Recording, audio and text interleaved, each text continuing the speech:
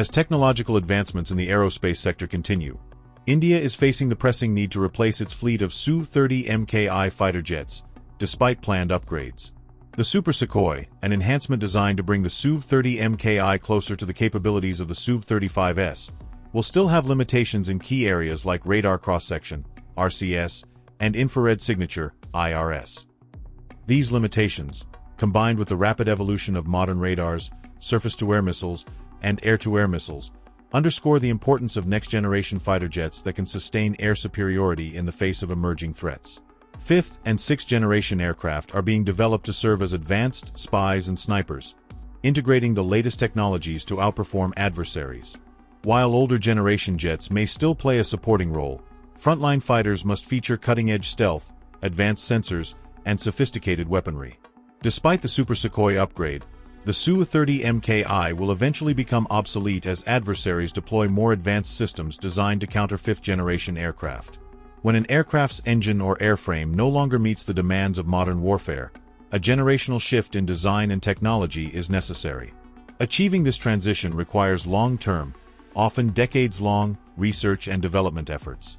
Europe's choice to bypass the fifth generation and focus directly on sixth-generation fighter programs like the Future Combat Air System, FCAS, and Global Combat Air Program, GCAP, reflects the urgency of keeping pace with U.S. advancements in this domain. India's own development of the Advanced Medium Combat Aircraft, AMCA, is seen as a critical step toward producing a fifth-generation fighter. However, similar to the Light Combat Aircraft program, progress on the AMCA has been slow, primarily due to the lack of suitable engines. Without dependable engines for the prototype phase, the project risks facing significant delays.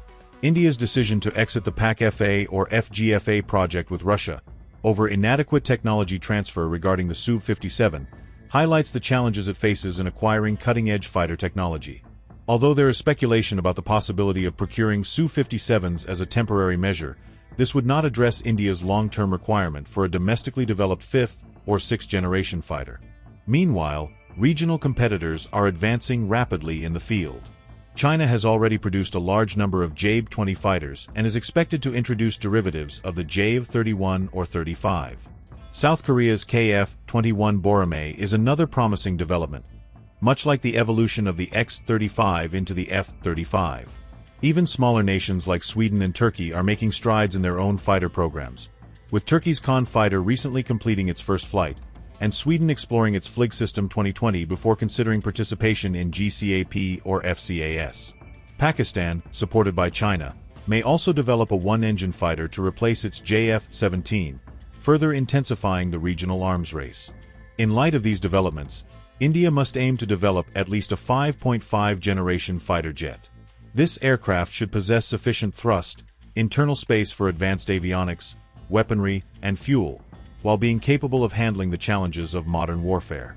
The AMCA, in its stealth configuration, might need to carry fewer weapons internally but could rely on a higher probability of kill with fewer beyond visual range air-to-air missiles, BVRAAMs, in addition to using its cannon in close combat scenarios.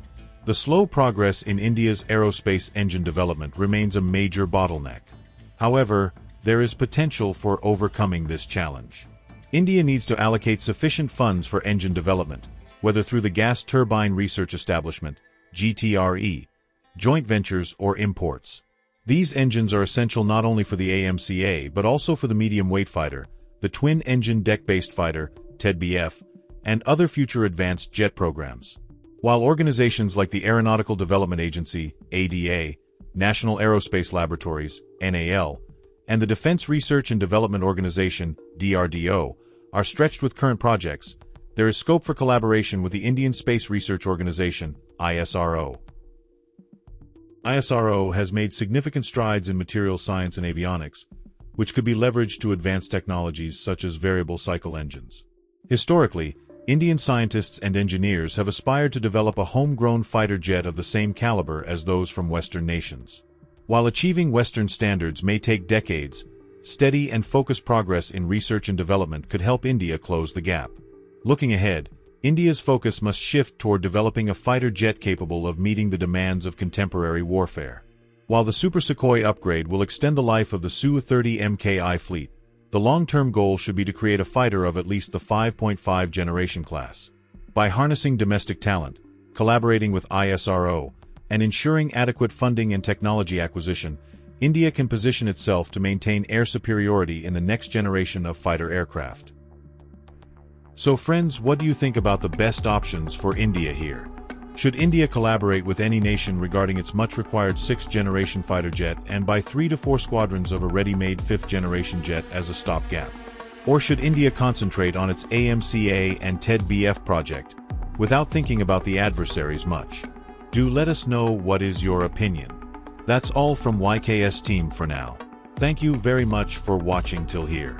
If you like this video, then please hit the like and press the subscribe button so that you get all notifications whenever we post a video.